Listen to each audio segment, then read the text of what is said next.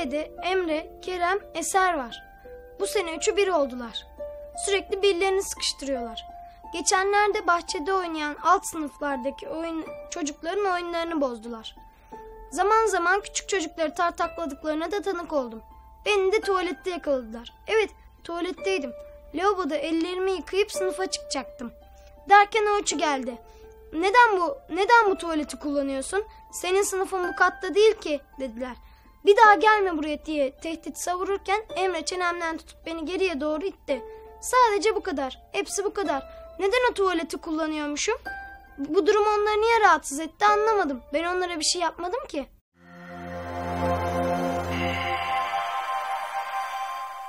Okulun her bölgesi güvenli olmalıdır. Artık o katın tuvaletini kullanamıyorum. Zaten bu ilk değildi. Daha önce de rahatsız etmişlerdi. Bir keresinde ben merdivenlerden inerken arkamdan ittiler. Arkadaşım olmasa düşecektim. Şimdi onları görünce korkuyorum tabii bir şey yapacaklar diye.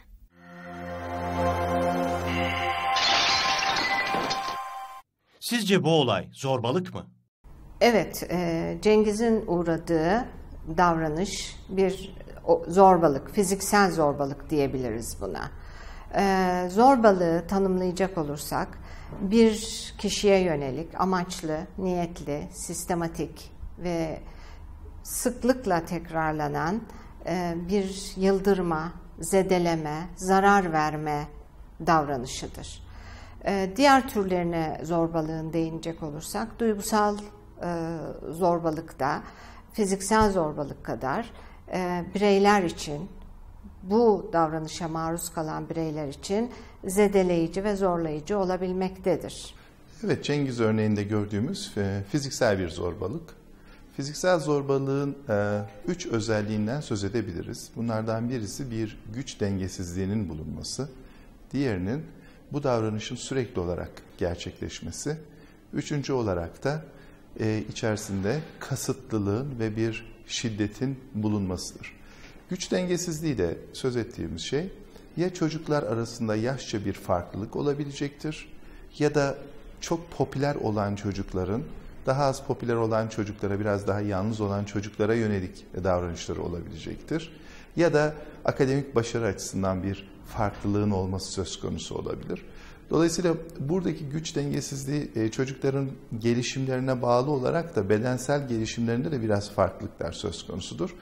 E, e, dolayısıyla bu güç dengesizliği aslında e, zorbalar e, açısından baktığımızda e, belirleyici özelliklerden birisidir. Bir başkası da bunun sürekli olmasıdır. Yani bir ya da iki olayla karşılaşılmaması e, yaklaşık 3 ay, 6 ay, 1 yıl süreyle sürekli olarak zorbanın e, kurban rolündeki kişilere yönelik olarak davranışlarını sürdürmesi söz konusudur.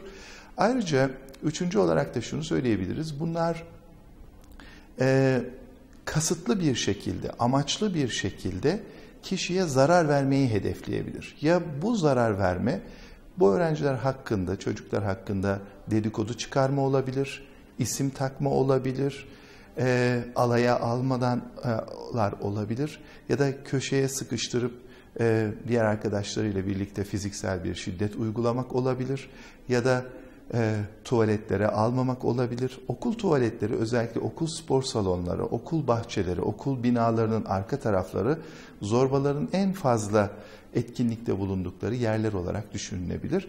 Buralarda e, zorba kurbanını belirlediği zaman e, bu kurbanın peşinde diğer izleyici olan kişilerle birlikte e, etkinlikte bulunabilir ve saldırganca davranışlarını ortaya koyabilir. Cengizlerin sınıfıyla bizim sınıfımızın maçı vardı. Tabii ki her maçta olduğu gibi maçta da biz kazanacaktık. Eğlence maçtan önce başladı. Bayraklarımızı, flamalarımızı hazırladık. Tezahüratlarımızı da tekrarladık. Ama maalesef maçı kaybettik. Cengiz de tribünlerde görüyorum. Ya zaten gıcığım o çocuğa. Bir de ma- maçı kazandılar diye bir seviniyorlar sormayın. Maçtan sonra evlere gidecektik. Ama Cengiz'e ve arkadaşlarına sinir olduk. Tamam kazandınız maçı anladık ama bu kadar da sevinilmez ki.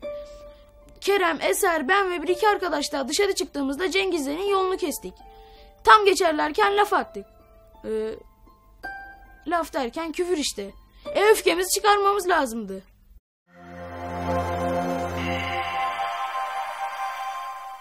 Ve şiddet sesini duyurur. Düzgün konuşmalar için onları uyardık. Ama ısrarla küfretmeye devam ettiler. Derken tahmin ettiğiniz olay yaşandı. Birden birbirimize girdik işte.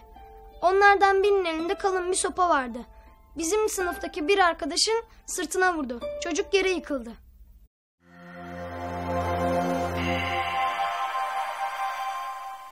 Sorunları şiddete başvurmadan çözemez miyiz?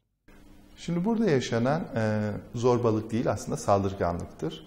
Neden? Çünkü e, zorbalıkta belirttiğimiz bu üç özellik vardı bunları göremiyoruz. Saldırganlık, şiddet, zorbalık birbirinin yerine çok geçen kavramlar, birbirlerinden e, farklı kavramlar aslında. Aslında hepsinin temelinde çok geniş anlamda düşünecek olursak temelde bir saldırganlık var. Şiddetle e, e, zorbalık da ki önemli konulardan bir tanesi bir güç dengesizliğinin bulunması söz konusu. Ama buradaki örnek olayımızda görüyoruz ki bir güç dengesizliği söz konusu değil. Aynı düzeyde olan kişiler ve e, tekrarlayan özellikler söz konusu değil. Çok e, uzunca bir süre devam etmiyor bu.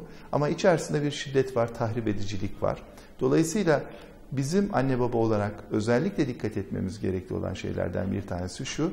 Çocuğumuzun uzun süreli bir şekilde bir zorbaca davranışa maruz kalıp kalmadığını tespit edebilmek, kurban durumuna düşüp düşmediklerini tespit edebilmektir. Yıllar sonra bile bu çocuklar yaşadıkları bu travmatik olayları isimler, tarih ve yer belirterek anlatırlar. Fiziksel şiddeti uygulayan kişiyi cezalandırmak etkin bir yöntem değildir. Hatta kurbanı, ezileni risk altına sokar. Amaç burada ezileni zorbadan korumak olmalıdır. Zorbalığı anormal ya da kötü olarak değerlendirmek sorunu çözmez. Zorbayı yargılamak bir çözüm getirmez. Amaç zorbalığı durdurmaktır.